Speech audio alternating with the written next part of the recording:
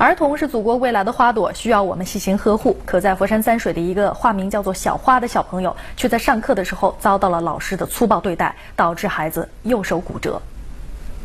咦，东风来，以杖来截，石龙棍，以来截。右手受伤正在读书的孩子，就是刚刚五岁半的小花。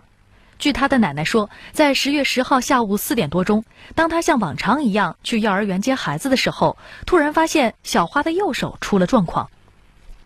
那即有由呢度，又一路肿到黑晒，佢死啦，不方佢整伤佢神经线，真的麻烦了。你说从胳膊肘这里一直到到到这个位置都是黑的。哎哎，肿哈。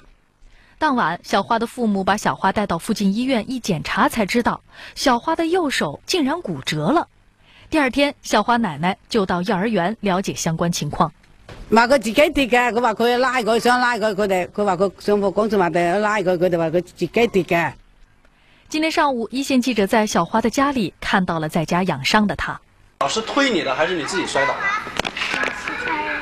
前几天已经过去了，我们可以看到小花的右手呢，现在正在被夹板固定着来养伤。小花告诉我们呢，因为老师对他们不好，所以她在伤好以后呢，再也不想回那个幼儿园去读书了。最后，一线记者赶到小花就读的佛山南边中心幼儿园，有工作人员就回应事件纯属意外，而涉事老师是有幼师资质的。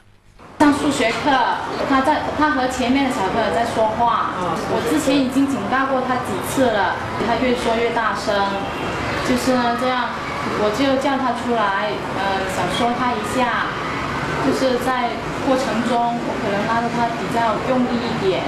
他自己不小心要摔到地上，那个手这里呃弄到那个黑板的那个边上。老师说当时也不知道小花伤的这么严重，所以只是帮他喷了一些药。老师也特别提及，小花平时都比较顽皮不听话。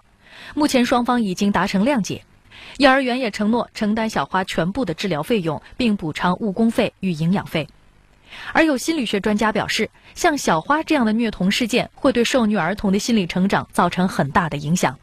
事后，父母必须要从三个方面来对孩子进行心理干预。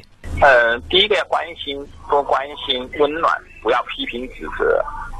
第二个呢，就是真的是怎么样，要耐心，要细致的。嗯。第三步呢，就是说你要成为孩子的后盾。